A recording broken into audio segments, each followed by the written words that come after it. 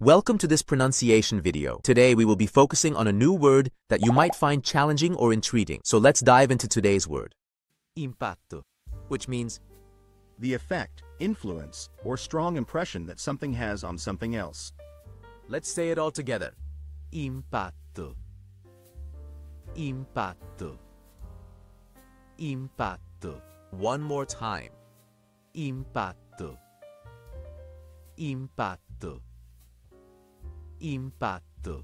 Thank you for joining us on this adventure in pronunciation. Remember, language is a journey, not a destination. Keep exploring, experimenting, and expanding your linguistic horizons. We'll see you next time.